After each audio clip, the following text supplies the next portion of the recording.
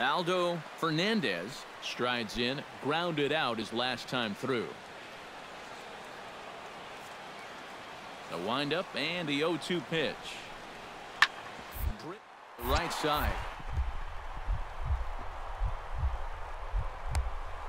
And gloves it. The throw to first.